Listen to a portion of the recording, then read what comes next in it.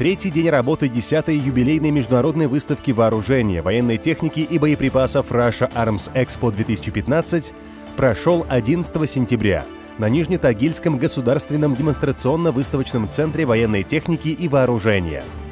В рамках выставки представлено более 200 экспонентов, в число которых вошли крупнейшие российские разработчики и конструкторы оборонно-промышленного комплекса – Свои новинки участникам РАЯ-2015 представило одно из крупнейших предприятий по производству боеприпасов и спецхимии ФКП «Тамбовский пороховой завод».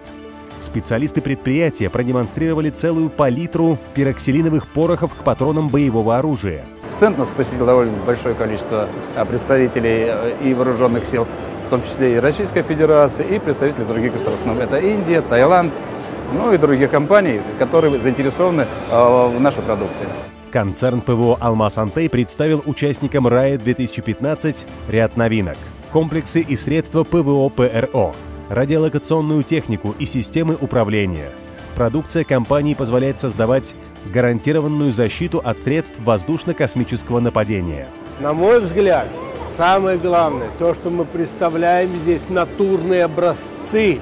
Это наша великолепная техника. Вот сегодня у нас была делегация из Ботсваны.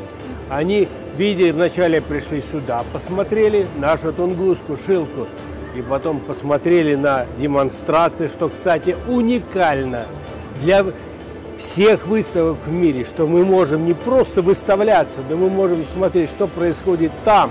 Это номер один, изюминка этой выставки. Особенность демонстрационного показа «Рая-2015» – комплексная презентация образцов вооружения на фоне реальной тактической обстановки. Упреждающие удары по условному противнику из разных боевых машин заставили зрителей на целый час забыть об окружающем мире и полностью погрузиться в разворачивающееся у них перед глазами действо, состоящее из двух этапов. На первом этапе была представлена боевая операция объединенной тактической группы по блокированию и уничтожению незаконного вооруженного формирования, в ходе которой были наглядно продемонстрированы огневые и тактические возможности вооружения и военной техники отечественных производителей. На втором этапе были показаны эксплуатационные возможности вооружения и военной техники.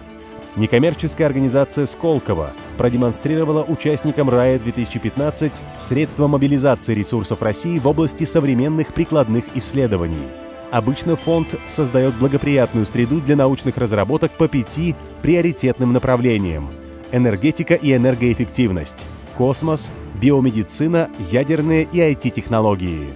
В регионах э, мало кто имел представление, чем занимается Сколково. Вот сегодня мы продемонстрировали эти проекты, э, к ним есть интерес в регионе. Мы надеемся, что предприятия региона будут все больше и больше вовлекаться в инновационный процесс России. Впереди заключительный день работы 10-й юбилейной международной выставки вооружения, военной техники и боеприпасов Russia Arms Expo 2015.